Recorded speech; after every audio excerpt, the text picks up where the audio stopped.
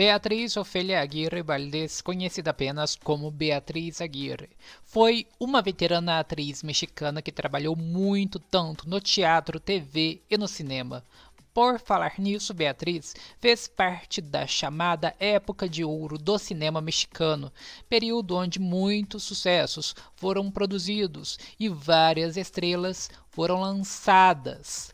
Aqui no Brasil, ela é bem lembrada pelo seu papel na novela de 2008 Cuidado com o Anjo, onde deu vida à querida vovó Marianinha. Você que é fã dela e de seus trabalhos, que acompanha sua carreira, fique por aqui e já faça a inscrição no canal porque vamos saber de fato quem foi Beatriz Aguirre. Fatos de sua carreira e de sua vida é a causa de sua morte. Ative também aquele sininho para receber as notificações e me siga no Insta. Beatriz Aguirre, que nasceu em 1925, começou a trabalhar ainda no cinema em 1944, ou seja, quando ela era ainda bem jovenzinha. E seu primeiro filme foi La Monja Alferez, filme dirigido por Emílio Gomes Muriel. E lá Beatriz fez um papel pequeno, Porém, à medida que os anos foram avançando, novas oportunidades foram se enxergando, e isso tudo bem na época de ouro do cinema mexicano.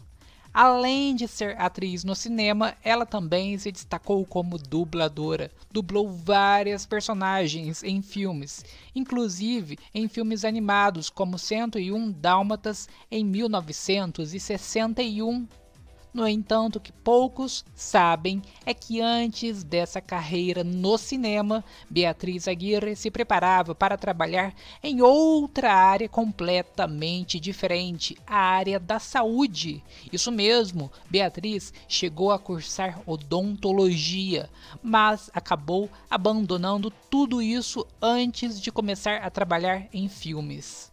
Já nas novelas, sua estreia aconteceu em 1959, na versão original de Teresa, trama de grande sucesso que ganhou vários remakes. Na novela, Beatriz deu vida a Luísa, um dos personagens mais importantes da história. Na sua vida pessoal, Beatriz se casou com o ator e dublador Guillermo Romano e com ele teve dois filhos, Carlos e Fabiola. Guillermo Romano acabou falecendo em 2018, um ano antes da partida de Beatriz.